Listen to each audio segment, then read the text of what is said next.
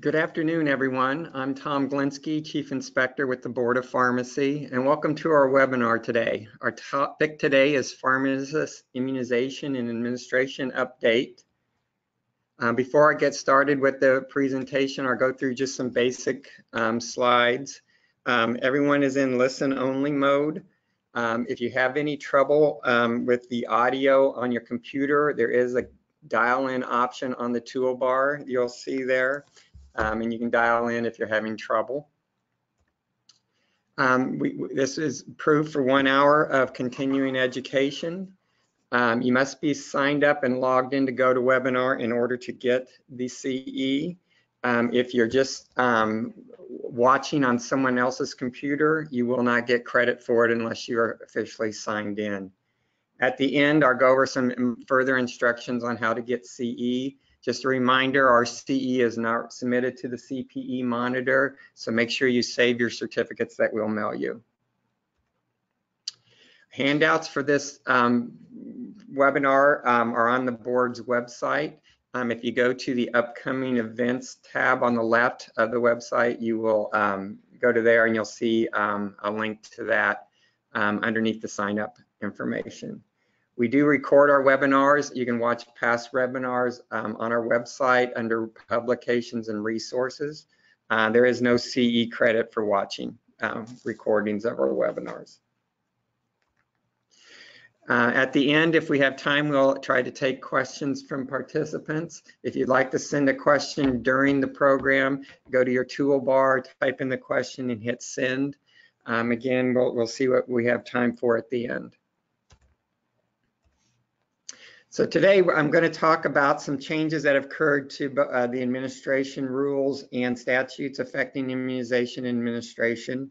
Um, we did have a statute change this year. A bill uh, passed legislation, legislation and um, became law and had some effects on immunization. Um, the board also revised both, the, both of the rules related to administration this summer.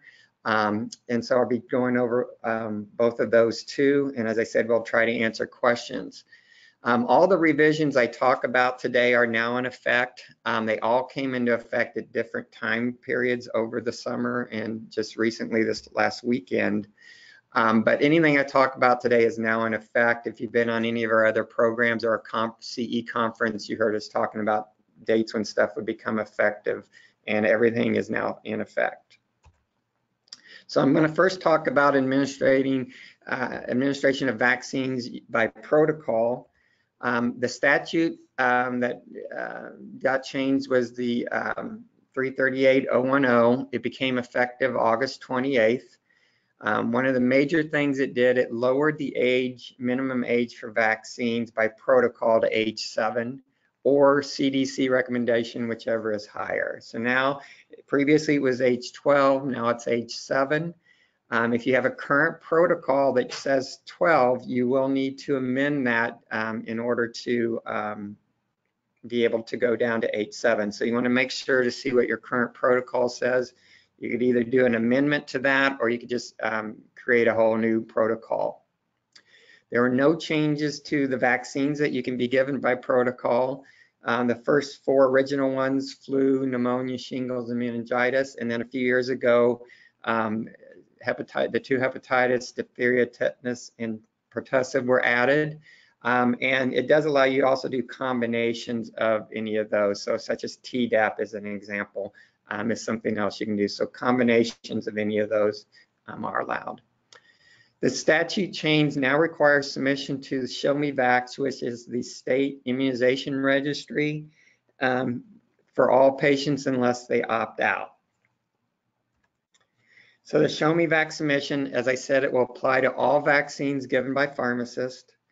Um, the statute is silent on the time frame you must report to Show Me Vax. The board recommends 14 days, which is similar to what the rule says and what the statute says for PCP notification. So we would recommend 14 days. The patients must be notified that they they this their immunization will be submitted to Show Me Vax. The patient must also be allowed to opt out of this submission and the patients must sign that they acknowledge this. So this can be done manually on a paper form. It can be done electronically. Um, the board, again, the statute's silent at this point on how long to keep these notific uh, these attestations. Uh, the board recommends keeping it for two years, similar to other vaccine records. Um, the statement that the uh, that the patient must sign could be incorporated into a patient your or uh, your normal patient consent form, so they're only signing one document. Um, you do want to look at your patient consent form. I have seen some that have statements about um, that uh, immunizations will be submitted to a state registry, um, but they don't may not contain an opt-out option. So um, if you're going to use a consent form, make sure it has the right um, verbiage in it and it also gives patients an, an opt-out option. The board did create a sample um, document of what a notification to the patient would look like. It's on our board's website. Here's um, a, a, copy of it. And basically the statement in the middle there could be incorporated to any into your consent form or any other document that the patient's signing. Um, as you know here, it has a opt-out um, checkbox that the patient would check if they want to opt out. So if the patient chooses to opt out, um, they still must sign a document that they're opting out. And again, the board recommends keeping that document for two years. And if the patient opts out, the pharmacy must still notify the primary care provider, the PCP, um, if the patient provided one. And this would be under the normal procedure prior to this statute change. You do it within 14 days. Um, standard notification elements of what needs to go to uh, the PCP, and you must document this notification somewhere in the pharmacy record. So the Show Me Vax registry is a Department of Health database. They maintain it and do everything with it. The Board of Pharmacy is not involved with this database. Um, there's two methods that a pharmacy may submit um, immunizations to the database. The first is a data upload method, and that's where a computer is dumping data into their computer. Um, it has to be an HL7 compliant system. Um, as I mentioned, the board is not involved in this, so all questions related to the database need to be sent to the Department of Health and they have different contact information based on what method you're going to use to um, submit data. So for data upload, I give the contact information here is on this slide. The other method to submit is doing going on the Show Me Vax um, web page and entering um, immunizations single single entry at a time. And doing that, you they have two different options. One's called historical, the other called inventory reporting. Um, the um, the two different method requiring different things, um, it would be up to the pharmacist pharmacy to decide which method they want to use. And again, if you have questions about how to get signed up, you have to get signed up for both of these. Um, either method, you have to um, get signed up with the Department of Health in order to submit um, but they have different contact information here um, for the Show Me Vax website method. The board's determined that if you submit to Show Me Vax, um, you then satisfy the PCP re, uh, notification requirement in the board's regulations. And right now, one of the two methods, um, the online may not be submitting the same required information that's in the board rule. The board is waiving that and you don't have to submit those um, specific things that are missing um, if you're doing the, the Show Me Vax thing. So if you're doing Show Me Vax, you do not need to worry about PCP notifications um, for immunizations that are in the board's rules. You still have to do um, adverse reaction notifications to PCP though. The board will be revising their regulations. We just got them revised. We're going to have to revise them again to accommodate the new Show Me Vax requirement. Um, so we will plan on doing that in, in probably the near future. So in addition to the uh, legislation that passed that affected immunization, the board is also in the process was in the process of revising the um, administration by protocol rule, which is uh, 6.050. Um, those revisions became effective over the weekend on September 30th.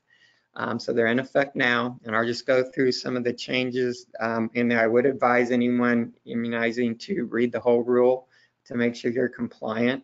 It's a good time to do a refresher of your procedures and your practices when we have a rule change to make sure you're still in compliance. So generally, uh, one change the board made was it eliminated the 50 mile requirement for the physician. So now the physician no longer has to be within 50 miles of the pharmacist doing the immunization. There is no mile requirement. And so now one physician could cover the whole state. So for large organizations who have pharmacies all across the state, um, they no longer need multiple farm uh, physicians in the areas. They can use one physician um, that could cover the whole state. The physician still needs to be Missouri licensed and they need to be actively engaged in the practice of medicine um, here in Missouri to qualify. Another change was um, the uh, immunizations now can occur at any Missouri licensed pharmacy. It used to be you had to spell out in your protocol where it would take place. Now it's automatic that any Missouri licensed pharmacy, a pharmacist can immunize at those without uh, declaring that in their protocol.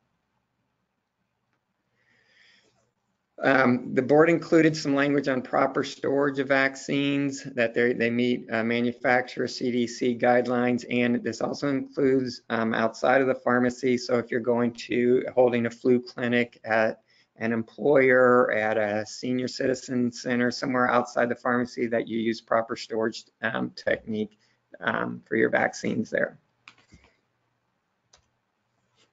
some changes made to the pharmacist qualification section of the rule. Um, previously, if a pharmacist was on probation, that was automatically, they were automatically prohibited from doing any kind of immunization. That has now been removed. Um, if a pharmacist is on probation, the terms of their probation will now dictate whether they can or cannot um, administer, uh, immunize. The um, so any pharmacists that are currently on probation would want to review their order and make sure it doesn't have any prohibition built into that order. If it doesn't, then the pharmacist would be allowed to immunize. There were changes to um, the certificate training program um, that's required. Um, it now lists in the rule specific criteria for these training certificate programs. Um, a big question we were asked when this uh, first came out was, do, do I have to go and get retrained? The answer is if you're currently immunizing, you currently have an NOI with the board, you do not need to go get trained again. Um, your training suffices. Anybody new coming along will have to meet the new criteria. Um, we get asked, well, what's, what programs out there meet it? Probably the most common program we see is APHA's pharmacy-based immunization delivery program. Um, the board's determined that meets the, uh, the qualification for the new criteria. Another um, change to the rule is now any program that was put on by an accredited pharmacy school is automatically approved. So in the past, when students um, got their training during school, they would have, if it wasn't a school we were familiar with, they would have to submit for board approval. They will no longer have to do that. Um, so those programs will automatically um, be approved as long as they meet those criteria of the training, um, that the new criteria listed.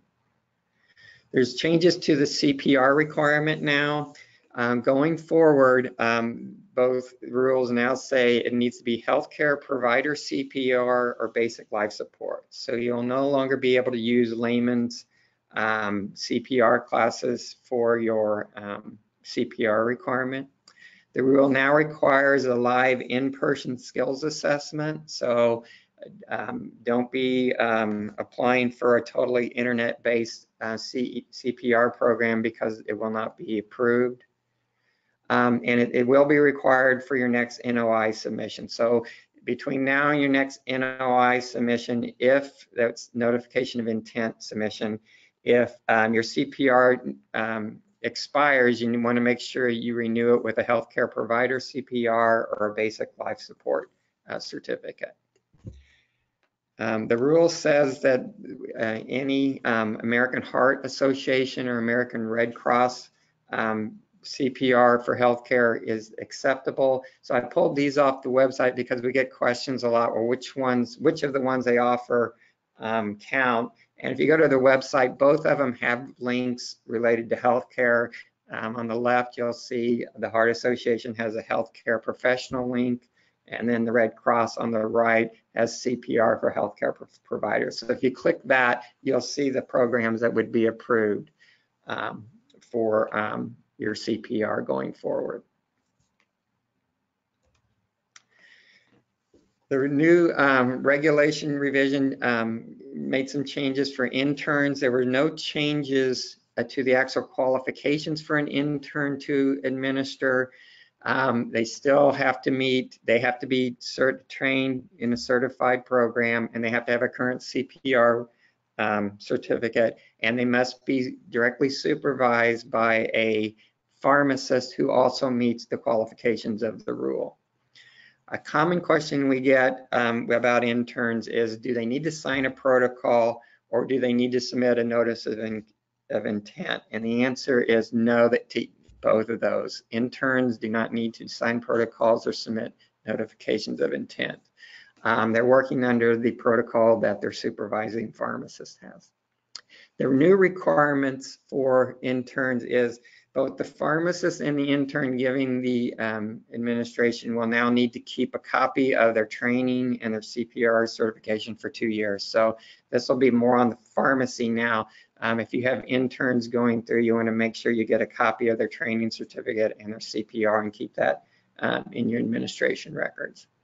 And then um, under records in the rule, it now specifically requires that if an intern provides the immunization, both the intern and the supervising pharmacist must be identified on the record. So we need the name or the initial of both the intern and the supervising pharmacist in your records.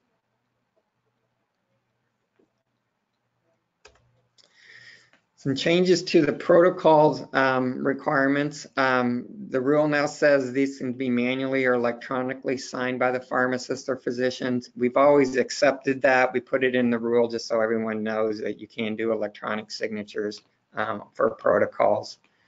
A change is made that um, only the address of non-pharmacy locations needs to be in your protocol. So going forward, you'll no longer need to list all the pharmacy locations um, in your protocol. A lot of times we see addendums on the back of protocols listing all the pharmacies in the state uh, for some of the larger organizations or um, that. So it's no longer, you no longer need to uh, have those in your protocol. But again, if you're going off-site and doing any off-site clinics, your protocol needs to um, originally say that or through an amendment list those addresses. Another big change was now the protocol will dictate if the protocol physician receives the notification of the immunization. Um, in the past, it was there was no opting out of it. The proto, regardless of what the protocol physician said, you had to the pharmacy had to send them a notification every time they they um, gave an immunization. Now the protocol will dictate that. So if the physician chooses not to, that you can put that in your protocol and you would not need to send phys protocol physician notifications. Uh, that's just of the immunization. That does not apply to adverse reaction um, notifications to the protocol for physician.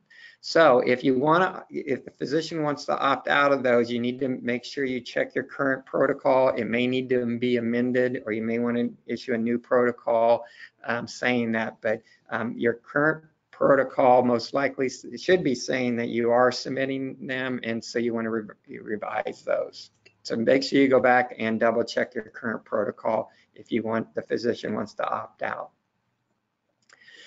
When doing an amendment and just adding new offsite locations, only the physician will be required to sign and date the amendment. In the past, whenever you did an amendment, pharmacists all had to sign those too. So now It'll be easier on you to add new locations. Only the physician will need to sign those amendments. You will not need to take it back to all your pharmacists.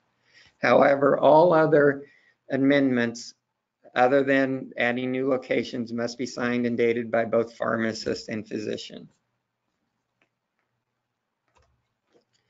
So just um, now, uh, some changes to the notification requirements. As I just said, the protocol dictates whether the protocol physician gets notified. There's a new requirement that adverse events must reported be reported to the vaccine administration um, adverse event reporting system within 30 days. Um, there's no change to adverse reaction reporting. You're still required to report within 24 hours of learning of an adverse reaction to both the protocol physician and the PCP if the patient has one. And as we talked about earlier, um, the rule requires you to notify the PCP if you're doing Show Me Vax submission. That will satisfy the board's requirement. If you're not, if the patient's opting out of Show Me Vax, then the um, you would need to follow the requirement to notify the PCP within 14 days. And again, the rule now says, clearly says you must document all your notifications listed. And so somewhere in your administration record, you need to be keeping records of, of when, uh, when you send notifications or adverse reactions um, notifications. The notification of intent, this is the notice that uh, pharmacist, the pharmacist sent to the board telling us that you, you plan to immunize. Um, there's been some changes to this process. There's still two types of NOIs. There's one for by protocol and there's one by medical prescription order. So if you're doing it by both methods, you still have to submit two separate NOIs. Um, so that, that has not changed. Going forward, new immunizers will be submit their first time NOI online as we've done in the past years. But renewal of NOIs will now be done at the time of your pharmacist renewal. So for any of you who have an MTS certificate, it's going to be handled like that. Um, at the time of the renewal, you will get to a chance to renew your NOI. So your NOI at renewal time, once you renew it, will, will be good for two years until your next pharmacist license. I, um, I believe they all will now have a 1031 expiration date to match the pharmacist license. At the time of renewal, you, you will have to attest that you have a current healthcare provider CPR or BL, BLS uh, certificate.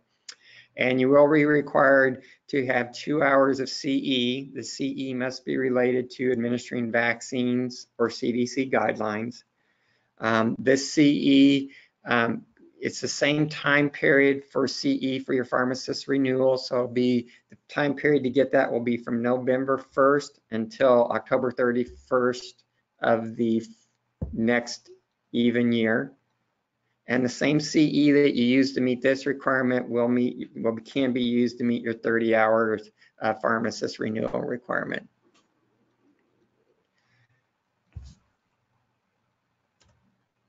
So now um, that talks about, I just talked about all the changes affecting um, administration of vaccines by protocol. I'm now going to switch over to administration by medical prescription order, the other method the pharmacist can do that.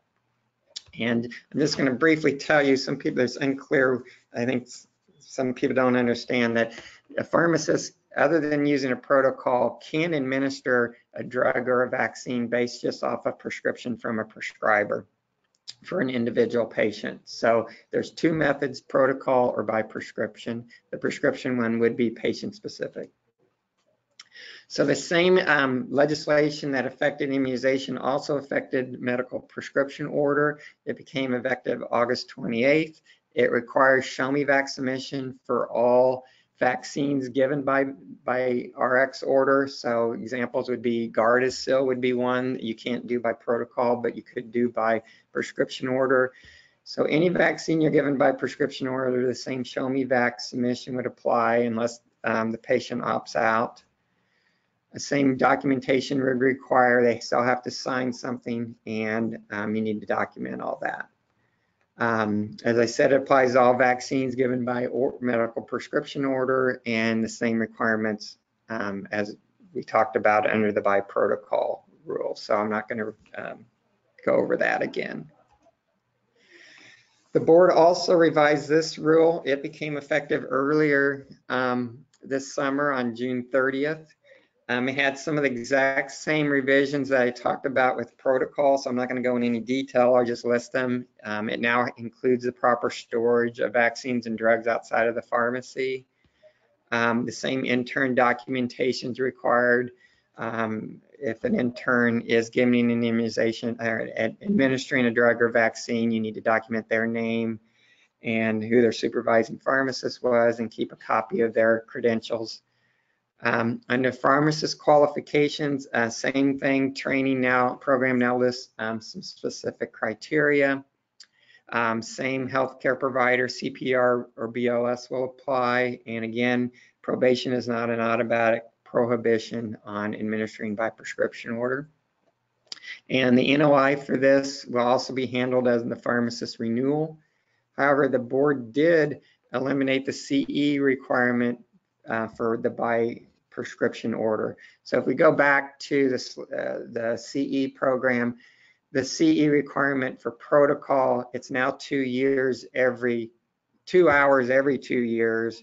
Uh, that's just for vaccines. There is no requirement for if you're doing it by prescription order. So uh, for vaccine, it currently, previously it was two hours per year. That now has gone down to two hours per two years. Um, and then if, if you're only administering drugs by prescription order, then you would not have any CE requirement if that was the only method you were doing.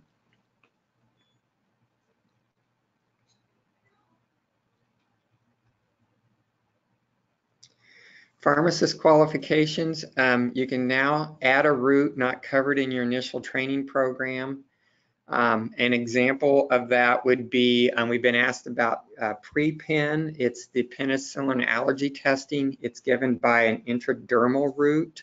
So um, most people were trained in sub-Q and IM for immunizations.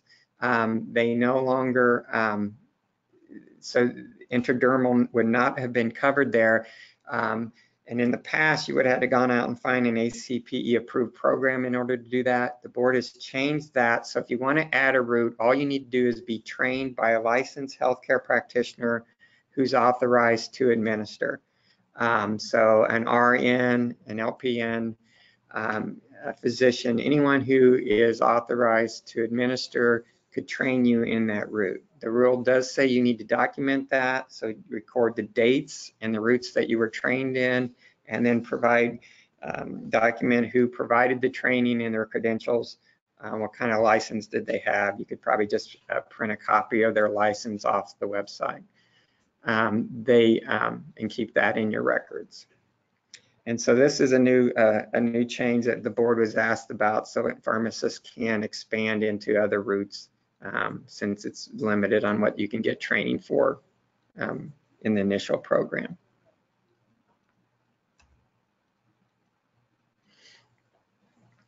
The notification requirements, there's no longer notification to notify the prescriber after you've administered a drug or a vaccine. Um, you do that for vaccines, as I said earlier, the Show Me Vax um, is uh, a requirement. So you need to follow Show Me Vax submission requirements unless the patient opts out. If they do opt out, if they notified you they have a, P, a primary care provider, then you would need to notify them within 14 days. If you're administering non-vaccines, there is no notification requirement um, to, to anyone, PCP or the prescriber, when you're after you've administered one. There is no change to adverse reaction reporting. You still must uh, notify the prescriber if you have an adverse reaction when 24 hours after learning of that. And again, you need to document um, the, um, the notifications that you do. Some other regulation changes is now um, vaccines may be given, non-vaccines, let me clarify, non-vaccines may be given outside of the manufacturer's guidelines. So um, doctor prescribes something off-label use, you can administer that. You no longer have to stay within manufacturer guidelines. Now that does not apply to vaccines. Vaccines must still be given within CDC recommendations or manufacturer's guidelines. Giving an, a vaccine by medical prescription order is different than by protocol. By protocol, you have to stay within CDC guidelines. So an example is for Zostavax, CDC guidelines is age 60. You must stay within age 60 for Zostavax if you're doing it by protocol. However, if you're doing it by medical prescription order, it's either CDC recommend, recommendations or manufacturer guidelines. So in this case, if you're doing it by medical prescription order, you could go down to age 50, which is the manufacturer's guideline. So there is a difference when it comes to vaccines by medical prescription order. You have more leeway on who you can administer to. And I just realized I left off a major change that um, off this slide is the other requirement for the prescription.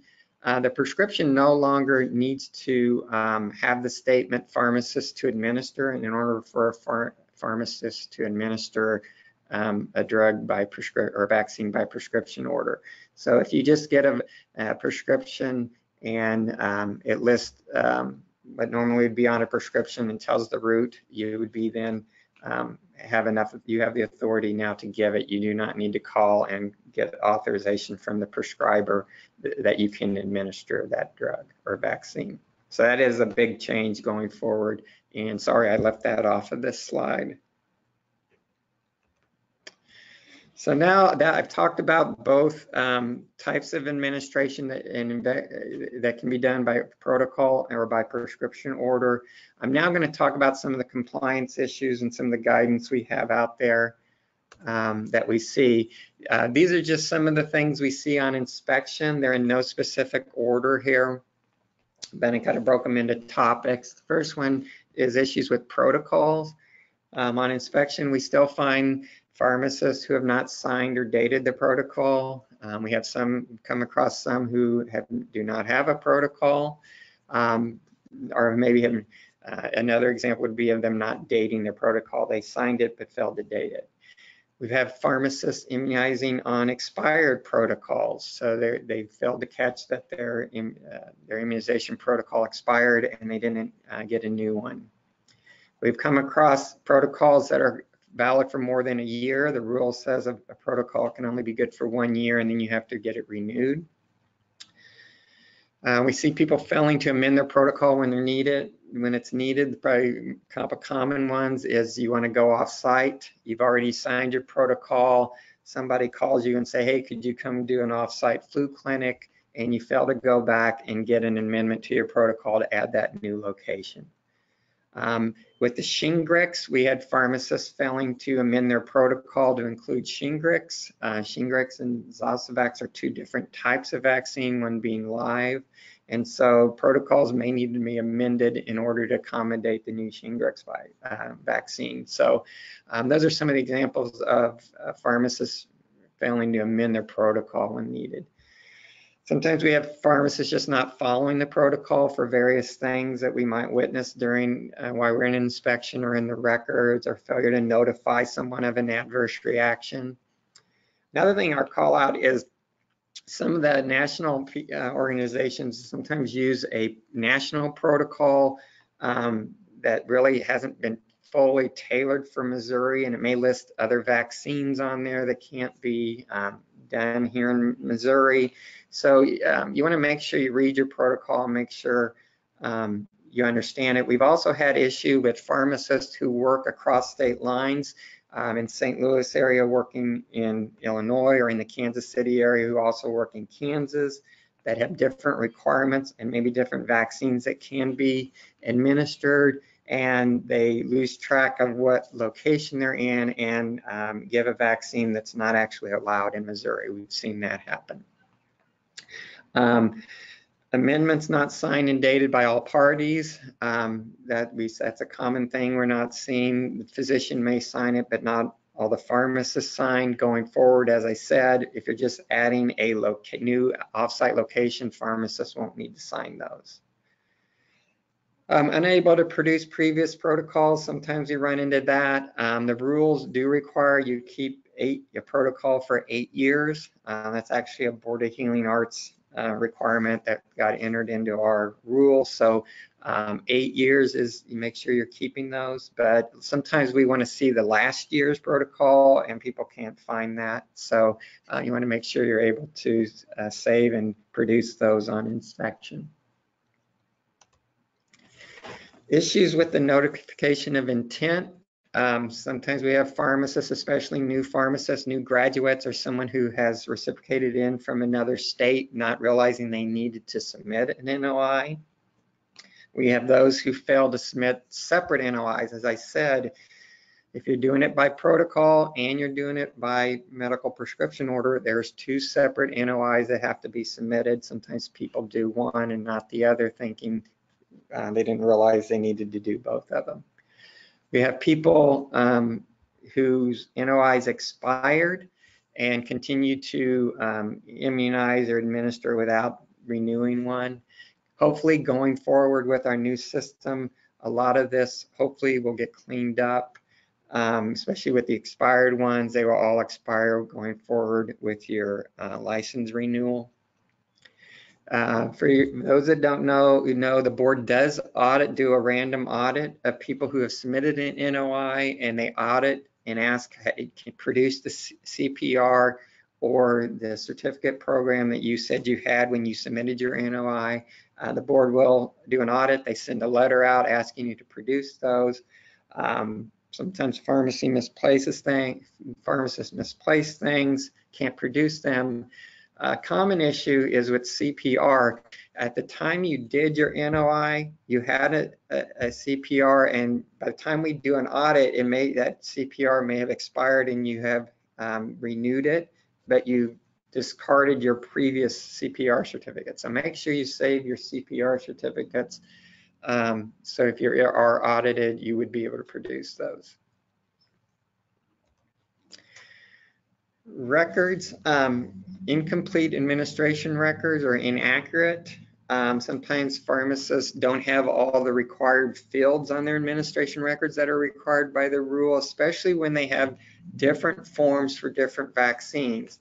So example would be their vaccine administration record for flu has everything, but they also have a uh, a separate different form they use for Shingrix. And whoever created that did not go back and verify that everything on in the rule is on there. So um, if you're using different types, different forms for the different types of, make sure they're all compliant with the rule. We do find times where pharmacists are not completing and filling out the complete record. Um, failure to document if no primary care provider uh, provider is given. That's now included in the rule. It says that you need to document that if they say they don't have one. Don't just leave the field blank, put an NA in there. If it's blank, we make the assumption you did not ask them if they had one. Failure to document notifications um, is, is required, especially we, we've had people filling to document adverse reaction notifications, said they had one, contacted the physician, but they didn't keep any records of it. Um, we have issues with people uh, not being able to find their policies and procedures. Um, medical prescription order requires you have written policies and procedures, and uh, they're unable to produce those during an inspection. There's also sometimes misunderstanding between what a protocol is and what the RX um, order policies and procedure is. They're two separate documents, even though they may say some of the very same things in them. Um, you need, they're two separate documents. You cannot hand us your protocol and say that's also my policy and procedure for anything I give by medical prescription order. And again, a lot of the sections in there may be similar, but you need to create your own separate document.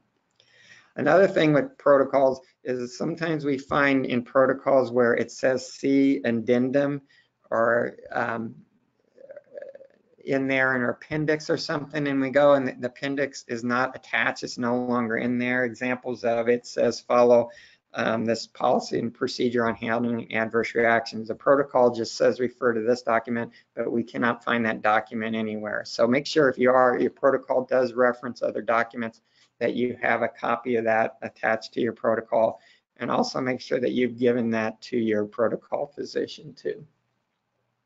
Some other things we come across is failure to notify all, all the required people for an adverse reaction. Sometimes we've had people not do anything when an adverse reaction was reported to them.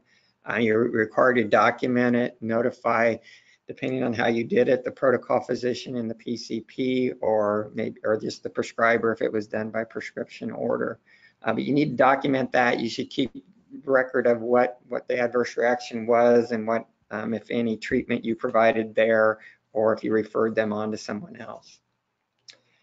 Um, pick the pharmacist in charge not overseeing compliance. Um, pharmacists are in charge are required, they're responsible for these administration programs being done at the pharmacy. So um, when a staff pharmacist fails to sign the, the protocol or fails um, to do something, the, the pharmacist in charge is also responsible for not making sure everything's done there. So if you're a pharmacist in charge, make sure you're reviewing your program and it meets all our requirements and make sure that everyone's properly trained and know what they need to be doing uh, because it is your responsibility to oversee that program. Another one I didn't include here was we have seen some storage issues with um, vaccines. Notably, we found Zostavax in the refrigerator before. Um, so if you are handling Zostavax, you might want to re-educate your staff and remind them that that's a freezer item um, and not put it in the refrigerator. Some compliance guidance we have out there. Um, the August uh, 18th newsletter, which is on our website, um, went into detail over the statute change revisions. Uh, not just did immunizations, but it also did all the statute revisions. But if you need more information on statute revision, that's a good source to go to. Back in June, we issued a notification of rule changes document, and it covered the changes that I talked about in prescription order here. Um, I expect we will be producing one of those uh, rule changes guides for the protocol rules that just became effective this weekend. So watch for email alerts um, for that. Um, and if you're aware, we do have a checklist brochure on our website that covers both of the types of administration a pharmacist can do. And we're in the process of updating that with all the new um, things I talked about here. So hopefully in the near future, we'll have an updated version of that out on our, our website. Again, we'll probably announce that through an email alert when we get it out there. Okay, so we now have some time for some questions. Um, if you'd like to submit a question, go to your toolbar and type it in and hit uh, send and we'll see what we can do. So give me a second here to switch over to questions.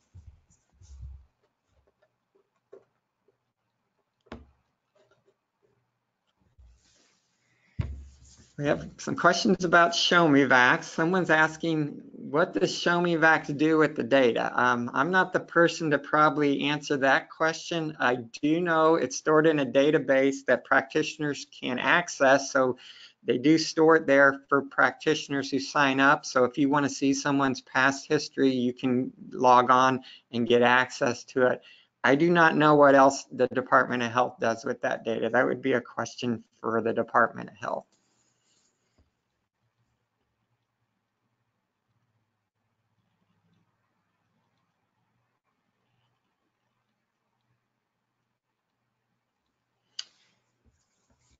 Uh, someone's asking about the wording for the Show Me Vax opting out. Uh, they want to know,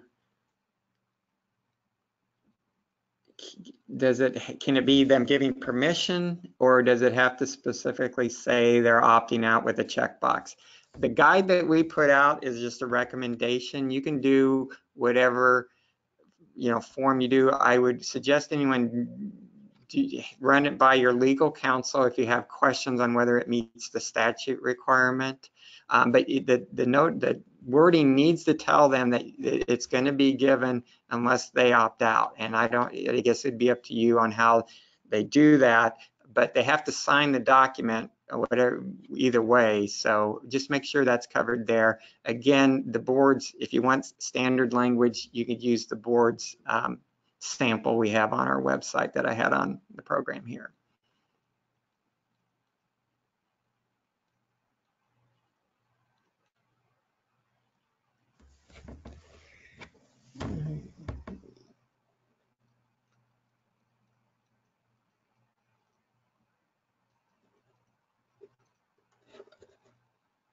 See if we have any other show me vax questions.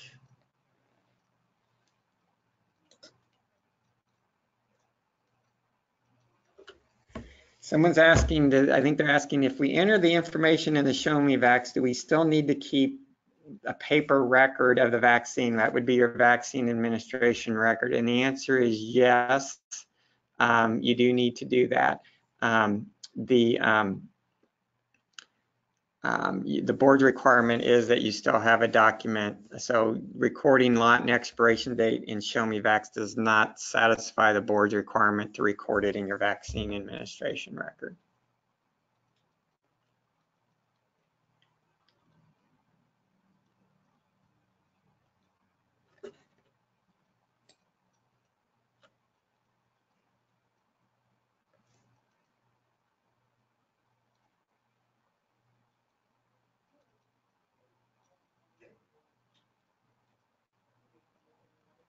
Someone's asking is if we're reporting to Show Me Vax, is it still necessary to record the MD address? I assume that means PCP address um, on your administration record. Is the answer is yes because that Show Me Vax submission satisfies the notification requirement. It does not satisfy the board's records requirement for what you need to have on your administration record. Okay, let's switch to some of the other questions. It looks like most of them for Show Me Vax now. Um,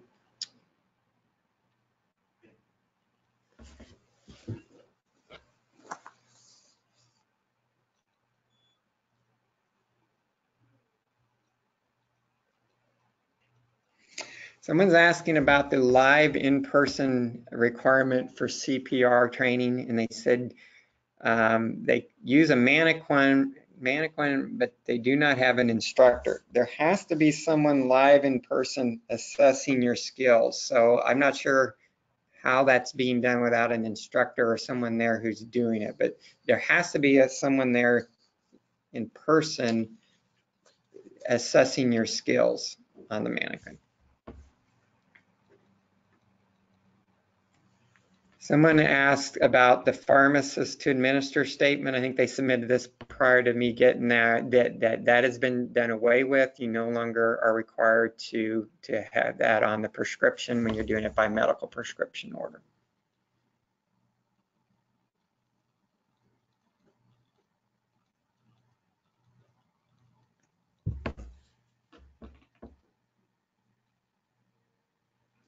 I'm not quite sure I understand that someone has a nursing student as a technician who's trained on vaccine administration. Are they allowed to administer? The answer is no. Um, technicians cannot administer regardless of their qualifications.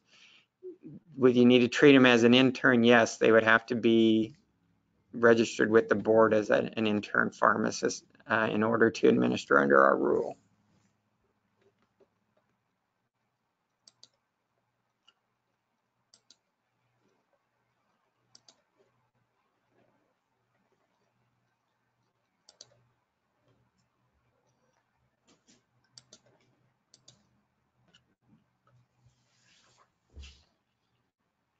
Someone wanted clarification on the CE requirement for protocol. It's two hours per renewal period. That has changed. It used to be two hours per calendar year. So now it will be two hours per renewal period. Your renewal period is a two-year period. So actually the requirement has gone down, but um, it's two hours per renewal period.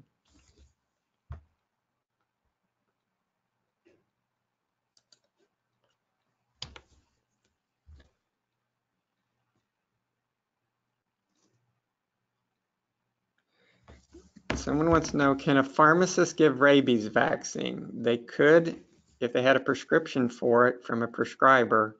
Um, it would be, you, know, you have to follow the RX by um, medical prescription order rule, but um, it that rule does not limit you on what vaccines you can give by prescription order.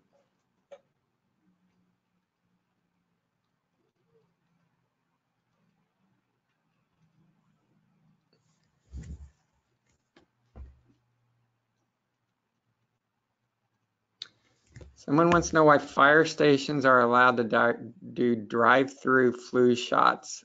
Um, and pharmacists are required to keep all this records. Um, we don't regulate fire stations, so I can't answer that part.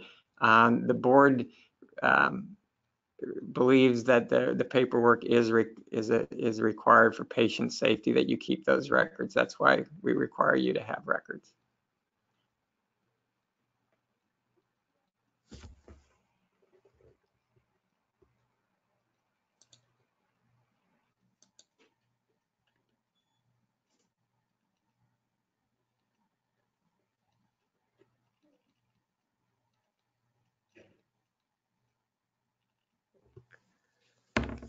Someone wants to know about if you're asked to look at a vaccine reaction that was not given, the vaccine was not given at your pharmacy. So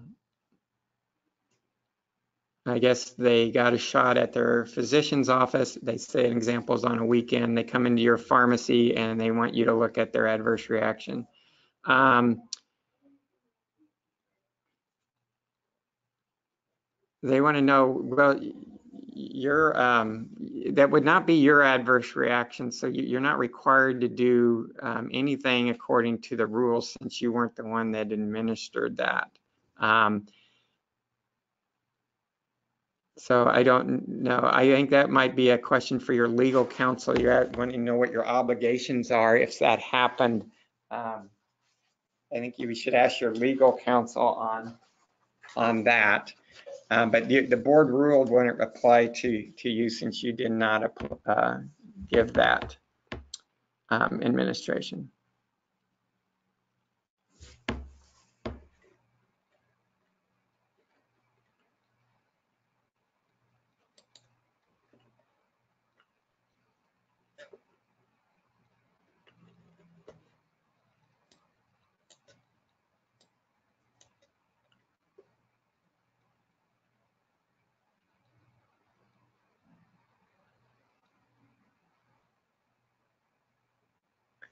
We're getting a lot of questions unrelated to today's topic, so I'm going to skip over those.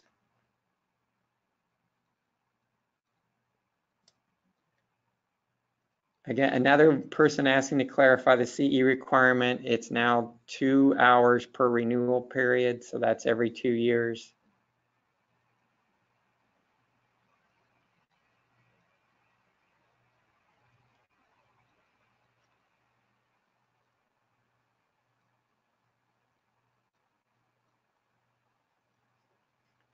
Someone who said they haven't practiced in Missouri. They don't live or practice in Missouri, but still has a Missouri license. If they decide to come back, would they have to take a new training program? It would all depend on what training you had at the time you were trained. Um, I, I, don't know the time frame you're talking here. Um, most pharmacists who went out and got training on their own probably got the APHA program. So what you would want to do is look at your certificate and see if it was an APHA, if it was the APH program. If it was, then yes, you, I mean, you would not need to be retrained. If it was something else, um, um, you we would just have you need to get some information about it, or if it was provided by a school, then it probably would would be okay.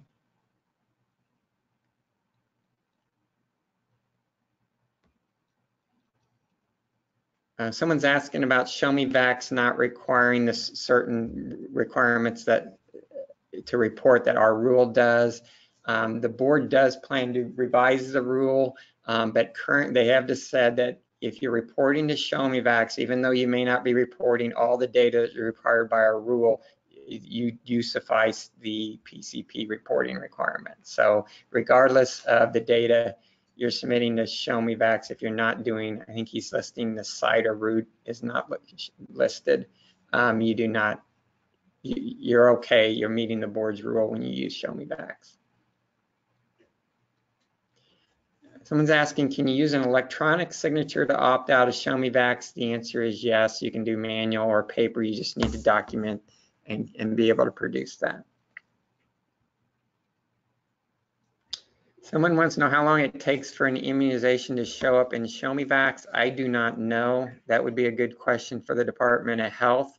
So if you need to know, uh, you might contact um, the um, one of the two contact informations I gave you back on that slide where I talked about that.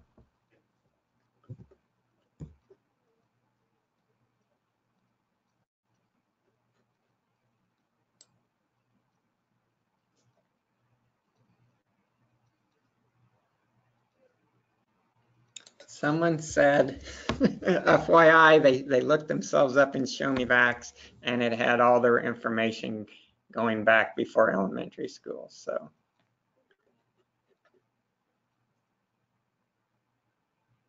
Someone wants to know, can a relief pharmacist give immunizations? Yes, any pharmacist can as long as they meet the requirements of the statutes and the rules. Um, they just need to make sure they do it. It doesn't, employment status does not affect the board's, your ability to immunize with the boards. Someone asked for a spreadsheet of all the differences between um, vaccines by protocol, or no, vaccines and non-vaccines. Um, we're working on the updated checklist that will kind of do some of that. I'm not sure if it goes into, it's not specific on non-vaccines versus vaccines all the way through though.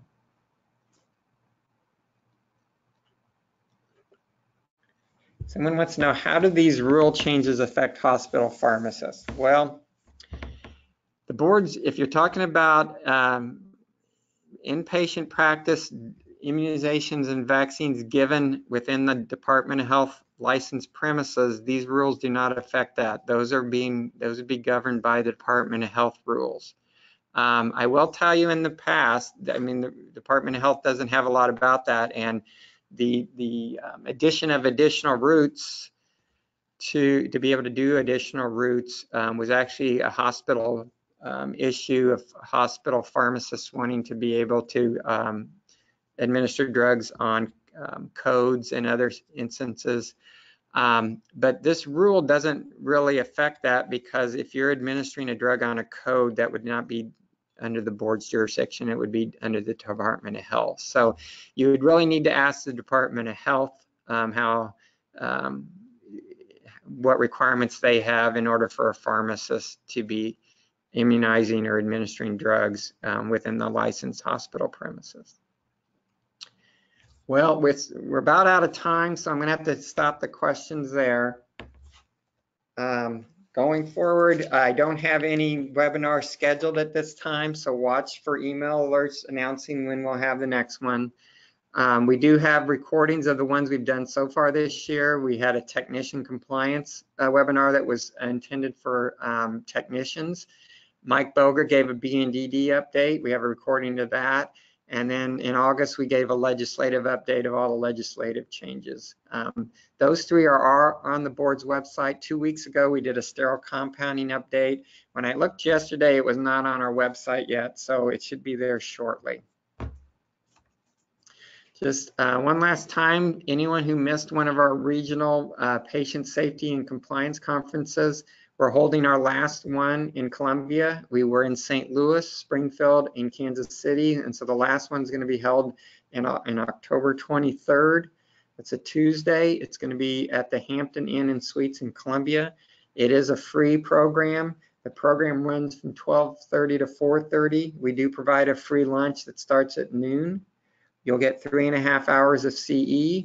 We have speakers from Center for Patient Safety, BNDD, and board inspectors will be presenting. Um, you can sign up for this on the board's website on the left side under upcoming events. Continuing education for today's webinar. Um, do not close your browser at the end of the webinar. Um, once I announce I'm closing the webinar shortly, a little window will open up that says I've ended the webinar and it will exit. On that, you need to click close. Once you click close, do not close your browser yet. A survey will then pop up on the your screen and answer those quick questions and click submit. For some reason, if your survey does not op open up, you can email us at compliance at pr.mo.gov and we'll send you the questions. Uh, you must have those returned in within 24 hours if you want to receive CE. Um, we will be mailing certificates out. I usually say within approximately 30 days. Um, since it's renewal time, maybe we can get them out sooner, hopefully. Um, we and I said we will have a recording of this webinar on our website. We usually send out an email alert when it's available. So I'm now am going to close the webinar. Thank you for, and I hope you found it helpful today.